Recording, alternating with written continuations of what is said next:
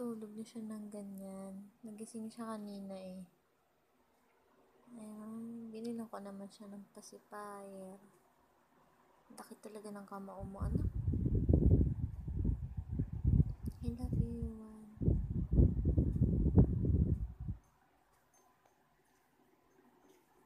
Bait eh, oh.